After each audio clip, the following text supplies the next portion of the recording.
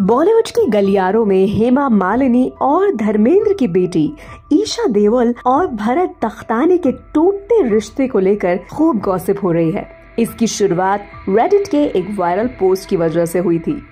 Post में कहा गया था कि मियाँ बीवी के बीच सब कुछ ठीक नहीं चल रहा है। ऐसे में दोनों अलग हो गए हैं। इसके बाद यूज़र्स ने इस बात पर गौर किया कि पिछले साल से शुरू हुए फेस्टिव सीज़न में ईशा देओल को सिर्फ़ अपनी माँ हेमा मालिनी के साथ ही देखा गया था। यहाँ तक कि आमिर खान की बेटी आयरा के रिसेप्शन में भी वो अपनी माँ के साथ पहुँची थी।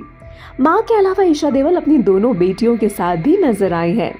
ईशा को छोटे बड़े इवेंट्स अकेले अटेंड करते देखा गया। यहाँ तक कि अलग अलग दिवाली पार्टीज़ में भी वो अकेले ही पहुँची थी। जबकि हमेशा से ये होता आया है कि वो भरत तख्तानी, यानी कि उनके पति के साथ इवेंट्स और पार्टीज़ में शामिल होती हैं। इतना ही नहीं, सास हेमा मालिनी के पिछहत्तरवे जन्मदिन के सेलिब्रेशन में भी भरत तख्तानी नहीं पहुँचे थे। इससे कपल के बीच सब कुछ ठीक ना होने की अफवाहों को और भी हवा मिली।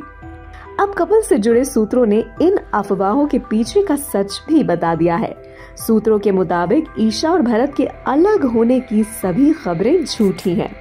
जून 2023 में कपल ने अपनी शादी की ग्यारहवीं सालगिरह मनाई थी इस मौके पर एक्ट्रेस ने पति के साथ एक रोमांटिक मोनोक्रोम फ़ोटो भी शेयर की थी फ़िलहाल इस पर आपका क्या कहना है, हमें नीचे कमेंट करके ज़रूर बताएँ।